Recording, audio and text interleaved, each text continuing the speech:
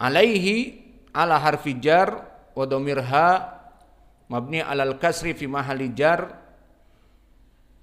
bi ismin bi harfi jar fajar wa majrur muta'alliqin bi akifina. Alaihi jar wa majrur muta'alliq muta'alliqan bi akifina.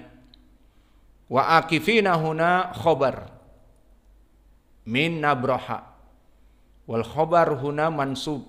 Wa alamatu nasbihi alya min khobar nabraha wa akifin khobar mansub. Wa alamatu nasbihi alya li ana min jam'i mudzakkar as-salim. Mansub bil ya. Laisa akifun lakin akifin. Idan min hadainil ayat min hatainil ayatain lan nabroha alaihi akifin wala yazaluna mukhtalifin. Fa syahiduna zala wa kadalika bariha. Dakhala ala syaqal fi'lun mudhari bidukhuli la nafiyah la yazaluna. Wa kadalika nabroha lan nabroha fahuna min surut labuda an yataqaddam bi an-nafiyah. Fala yazaluna nafi walakin ma yunsibu. Wa amalan harfu nafi wa yansibu al mudhari wa baqiya aina ashartu asani nahi? Wa aina ashartu asalis ad-du'a? Fastadalla al-muallif bi syair. Beristidlal dengan ucapan penyair. Wa qawli syair maka beristidlal dengan ucapan penyair.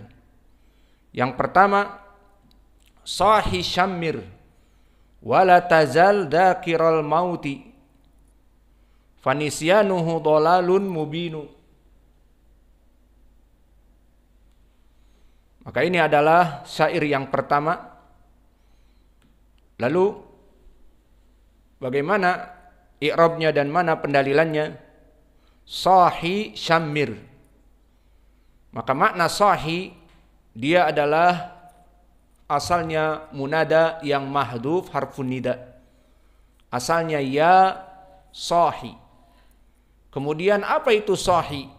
Di dalam bahasa Arab tidak ada sahi kita katakan dia adalah murahham. Ma makna murahham? Singkatan.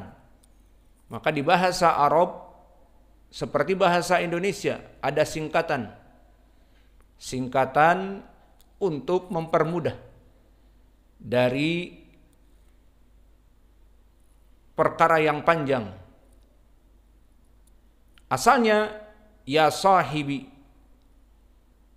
Maka kalau in English apa? Bro.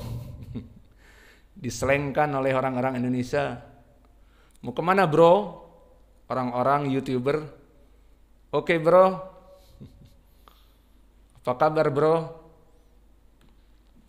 Maka asalnya my brother. Tarahum menjadi bro. Begitupun di sini. Sahi asalnya ya bi Wahai temanku, sahibi. Maka asalnya sahibi. Dan ini nanti akan datang bab murakham di pelajaran yang akan datang. Terutama di Qatrun Nada, babu tarhi, tarahum. Disingkat. Maka asalnya dia adalah sahibi.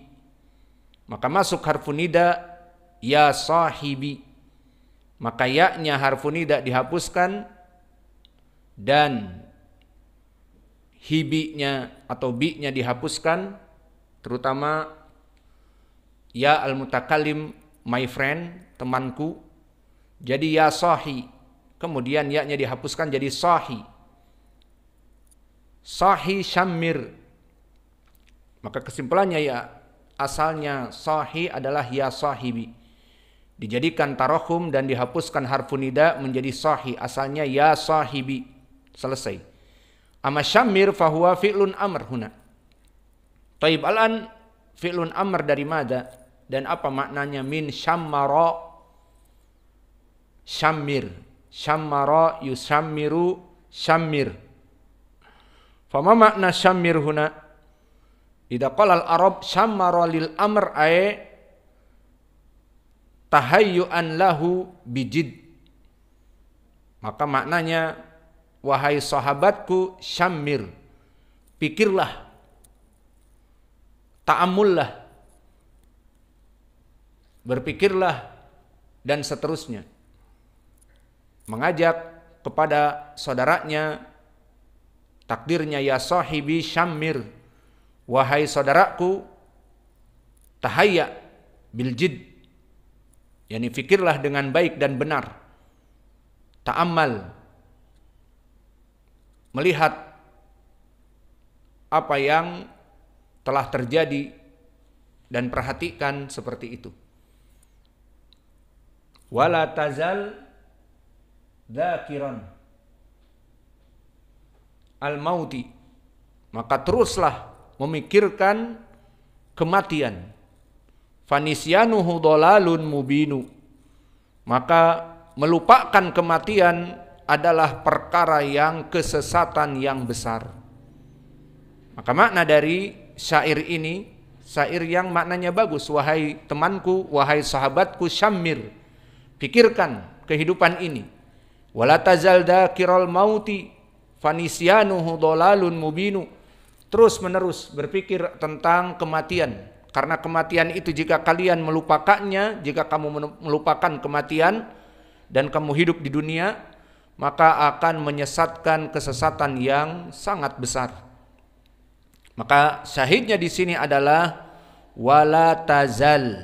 Maka awas di sini tazal dengan sukun la nahiyah. Maka ini dia syahidnya dengan masuknya la nahiyah.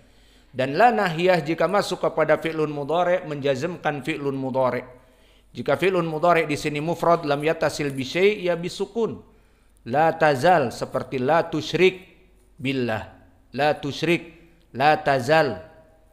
Maka alamatu jazmihi as-sukun. Dikarenakan mufrad.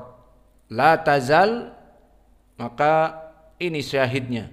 Masuk la nahiyah dan tazal fi'lun mudhari' majzum alamatu jazmihi as-sukun wa huwa fi'lun naqis. Maka mana kalau begitu ismuha wa khobaruha maka ismuha adalah domir mustatir yang ada di fi'lin mudhari' tazal. Hada huwa ismuha. Takdiruhu anta la tazal dzakiral mauti. Maka di sini dzakira dalam keadaan khobar dari zala mansub wa huwa wal mauti mudhafun ilaih. Maka maknanya wahai sahabatku ta'ammul perhatikan terus wala tazal lan huna la nahyah janganlah bukan penafian bermakna tidaklah tetapi janganlah Maknanya di sini terus menerus. Kalimat zala bermakna terus menerus. Maka terus meneruslah. Jangan engkau lupakan dari mengingat kematian. Karena dengan mengingat, dengan melupakannya, menunjukkan kesesatan yang nyata. Idan aina syahid?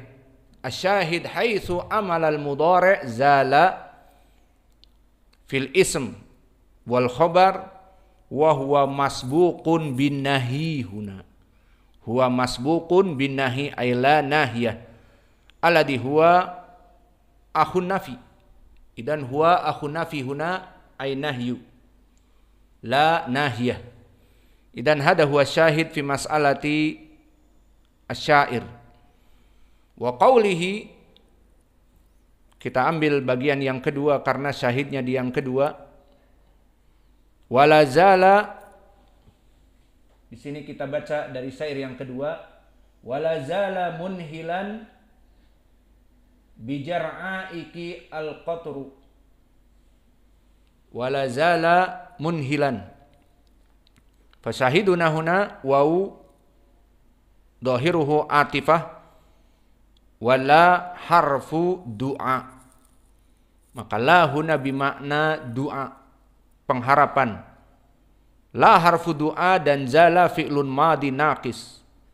Munhilan mansub dikarenakan khobar dari zala al-mutaqaddim.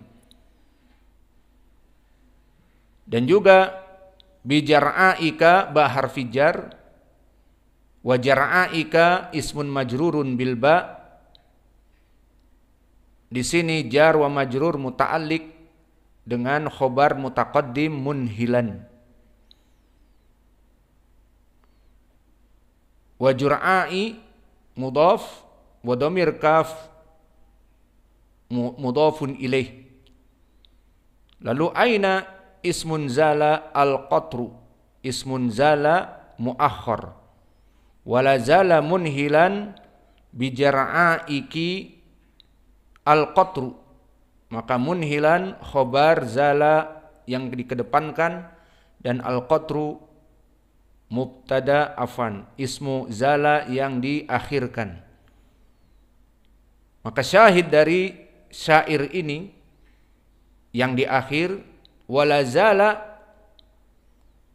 haitsu yajri zala majrikana wa akhwatuha fi raf'il ism wa nasbil khabar litaqaddumil la ad-du'aiyah 'alaiha wa du'a ahun nafi wa du'a shibhun nafi maka di sini dijadikan pendalilan oleh penulis dengan la ad-du'a. Maka inilah yang bisa kita berikan dari pelajaran kita di sini.